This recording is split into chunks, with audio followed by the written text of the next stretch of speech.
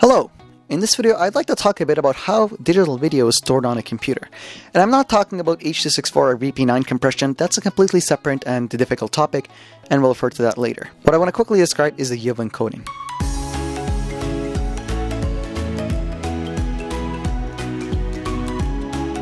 You've probably been told that computers store images and display images as RGB. And this is true to an extent. If you take a magnifying glass and you look at your monitor, you will see red, green, and blue subpixels. And similarly, if you'll take a look at a CMOS sensor in a camera with the Bayer filter, you'll see it's red, green, green, blue. So it would make sense then to assume that if I record a video, it would be saved as red, green, blue, right? Because that's how it's captured and that's how it's displayed. Wrong. Videos are not usually saved as red, green, and blue. Instead, they're usually saved as YUV. What is YUV? Well, YUV is also three bits of information, um, or I guess three parts of the information, just like RGB has three parts. RGB happens to divide the three parts as the brightness, the luminance of the red channel, the brightness of the green channel, and the brightness of the blue channel. Um, you know, each of those usually go from 0 to 255 in an 8 bit recording, uh, where 255 would be like full red, green, or blue, and then 0 would be essentially black. Now, this isn't used for a couple of reasons, and the main one is that it's inefficient. Can you see why it's wasteful to have the same darkness or brightness information encoded three times? It's wasteful. How exactly does the YUV color space work? It isn't something that was invented for digital video. It, in fact, predates all digital video.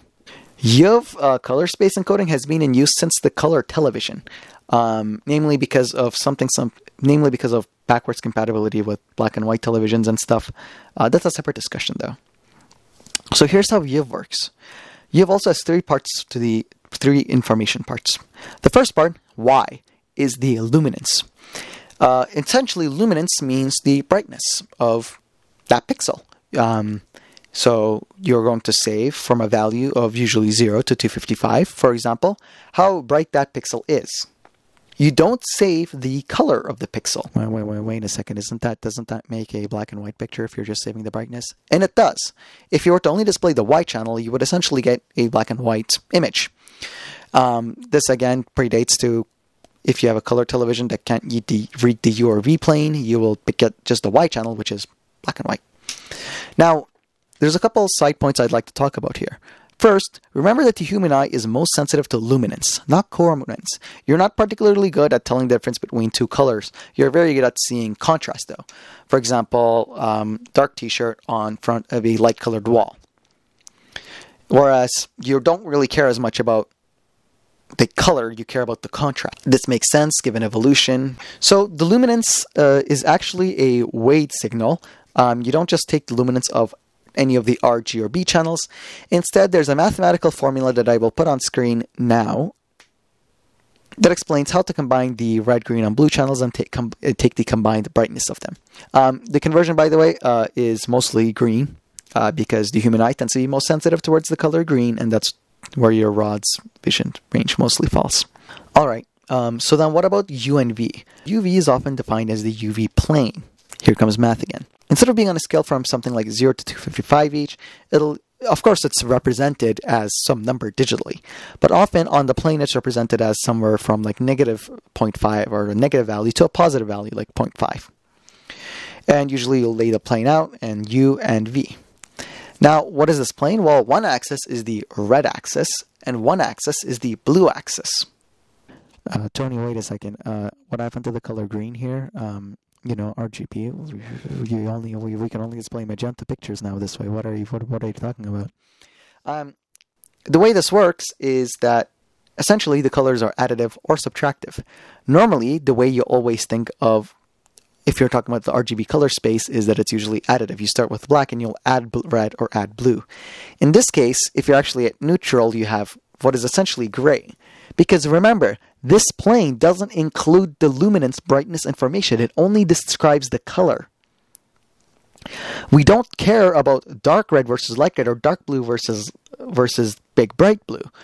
that is going to be described by the luminance channel. Instead, we care about the tone of the color. So usually the base tone for this will be some grayish color, and we're going to be applying particular hues to it. So here's how this works. If I want to display red, I'm going to go up on the red axis. If I want to display blue, I'm going to go up on the blue axis. To display magenta, you go up on both the red and the blue axes. Makes sense. To get green, we're actually going to go into the negative red and negative blue axes. Cyan will be achieved by being pos- will be achieved by being positive in the blue but negative in the red axis. And yellow will be achieved by being positive in the red but negative in the blue axis.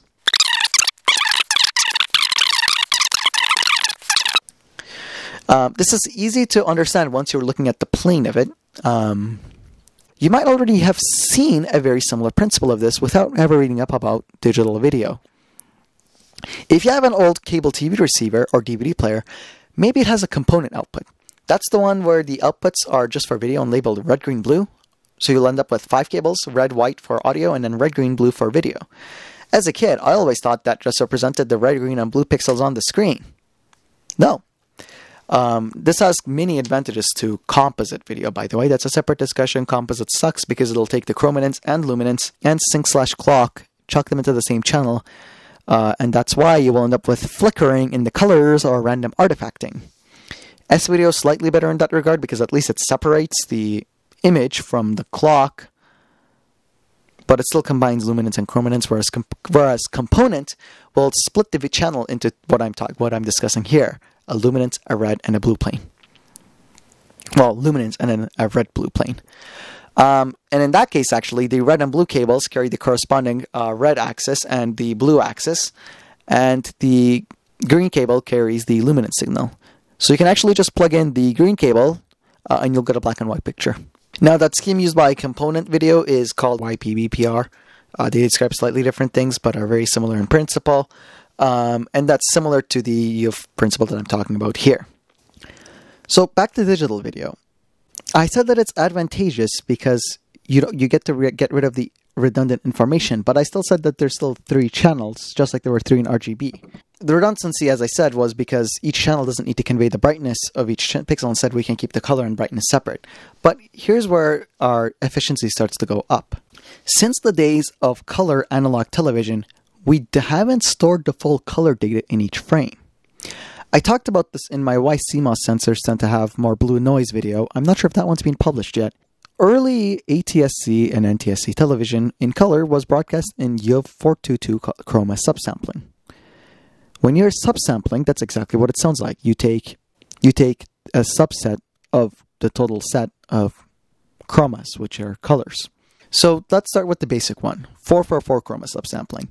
This is storing all luminance and all color information for each pixel.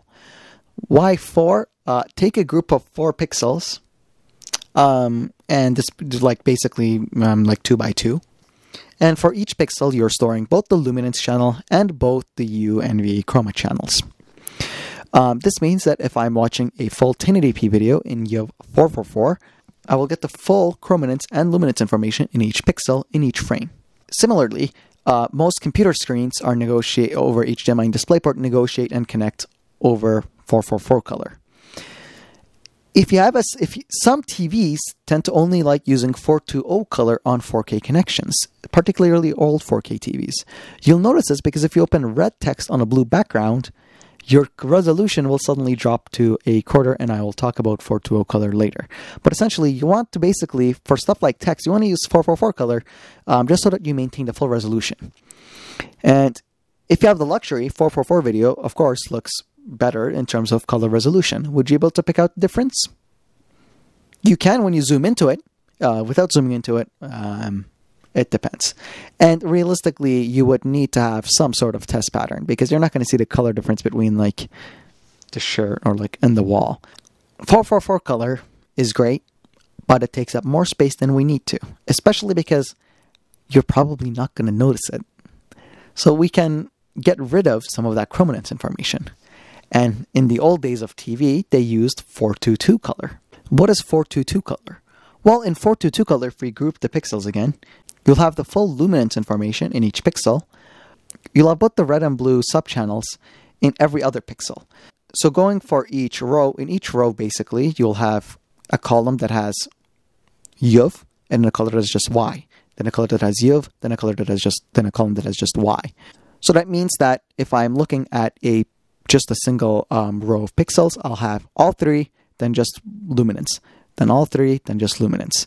Uh, and the next row will be the same as this. So basically, you'll have columns where you have everything and columns where you don't have um, the color information. And realistically, people didn't notice. It has been this way, at least in North America, since color television became standard. I would guess that the reason they chose to left out every other column instead of every other row is that columns, the, the, way scanning works is you start at the top left corner, and like the way our most, like the way our eyes read, you'll read in a column, and you'll read all the columns in a row first, then go to the next row, then go to the next row, so on and so forth. So you actually need to work a lot harder if you wanted it in every single column because the frequency, your horizontal clock frequency, is going to be a lot higher than your vertical clock frequency. Your vertical clock frequency will be just 50 or 60 hertz, 60 in North America. Whereas your horizontal clock frequency, that's like 15 to 16 kilohertz. Now, in digital video, we rarely use 422 color. The most common one is 420 color. And what is 420 color? In 420 color, if I take a 2 by 2 group of pixels, each pixel, once again, just indica- as indicated by the first four, contains the luminance information. So, for 1920 by 1080 pixels on a 1080p video, every single pixel will contain the luminance information. But the 2 and 0 mean that for every 4 pixels, I'll have just Y, YU, YV, and just Y. So there will be one pixel that has the luminance and the red channel, and one pixel that has the luminance and the blue channel, and two pixels that have just the luminance.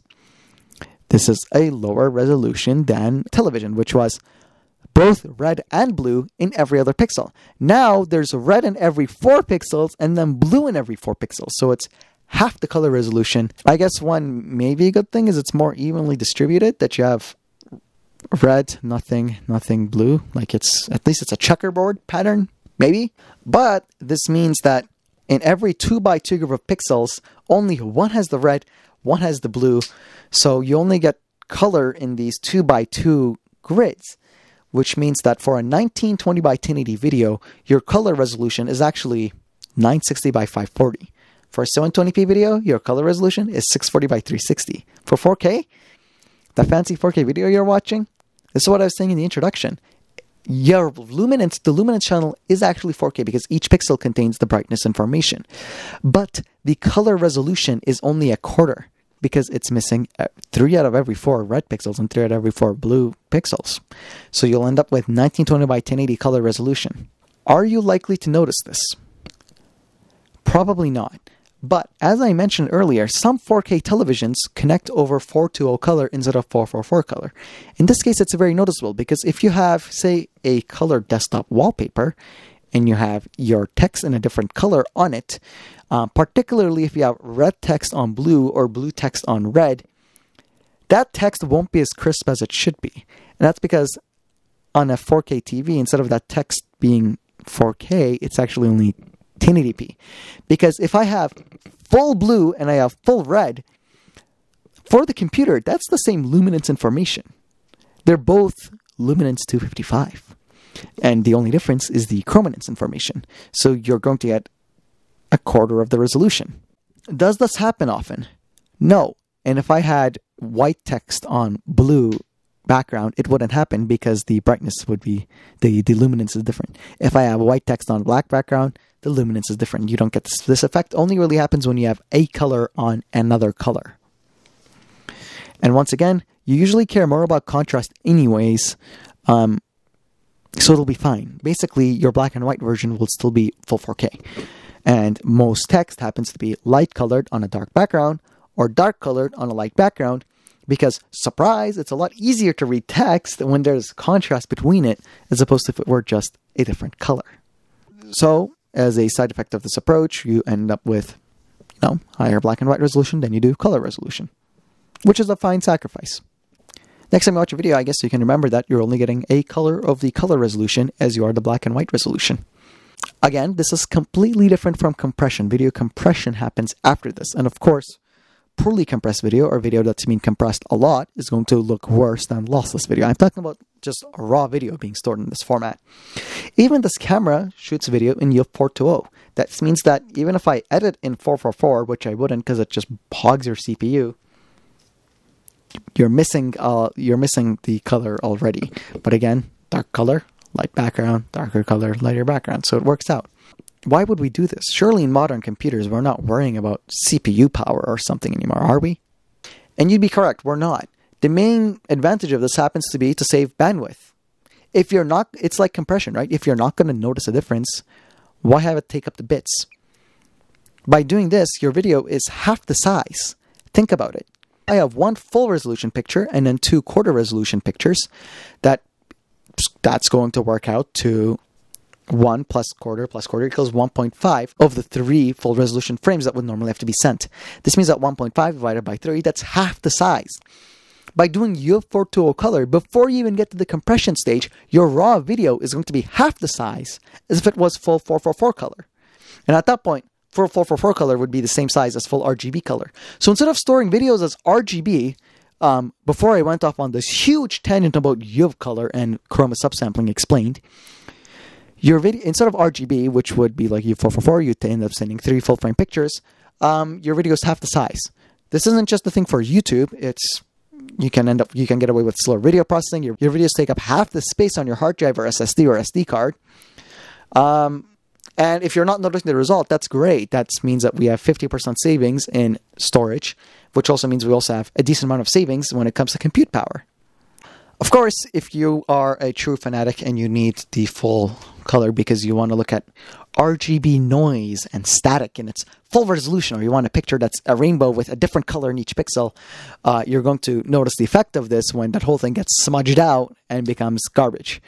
Um, in which, by the way, if you were if you were trying to send bit for bit different colors uh, in every single bit, you would want to use U444. But just be careful because if you upload it to a site and it gets transcoded, it's probably going to get transcoded to 420 color. Thank you for watching this very long and rambly video on. First of all, I guess we started with RGB versus UV uh, and how videos aren't stored in RGB, and then this whole sidetrack of why you might want to do that. And to explain that, we have to go to, well, the answer is less bandwidth, but to explain that, we need to first discuss chroma subsampling and all of that. Uh, hopefully you learned something. Hope you learned many things from this video. If you learned stuff, consider liking the video and commenting down below. I have no idea if people like these types of more rambly but slightly more educational videos. Uh, historically, I guess I've been trying to stick more so to tutorials, but you know, I thought maybe I'd try my hand at explaining stuff. So hopefully you learned something. Um, thank you so much for watching. I guess subscribe if you want to see more videos like this or leave a comment if you like this type of video. Thank you and have a great day.